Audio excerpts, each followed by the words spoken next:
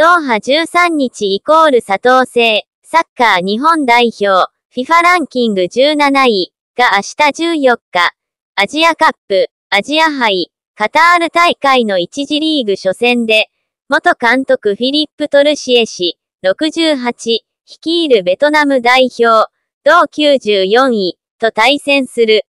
当地で前日会見に臨んだ MF 遠藤渡る、30イコールリバプール、が、首相として初めて迎える国際大会で優勝宣言をした。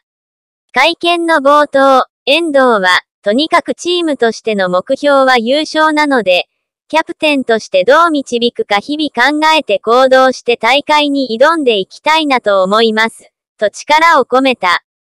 そして能登半島地震などを念頭に、日本では新年早々、残念なニュースが届いている。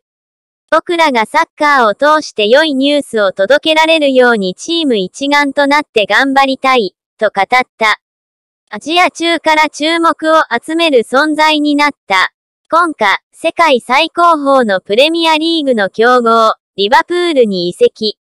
加入当初は苦しんだが、徐々に存在感を発揮。クラブが選ぶ12月の月間 MVP に輝いた。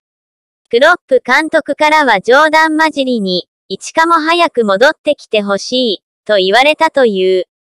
そうやって求められていることに対しては嬉しく思いますし、としつつ、代表でプレーすることも重要。キャプテンとして優勝するためにここにいる、と代表での戦いに集中している。目指すのはアジアの頂点だけだ。準優勝に終わった前回大会は体調不良に陥り、決勝は負傷で出場できなかった。不完全燃焼に終わった。今大会にかける思いは強い。チームはコミュニケーションを大事にしている。自分がなんか行動、発言していかないといけないタイミングがあれば、見計らってやりたい。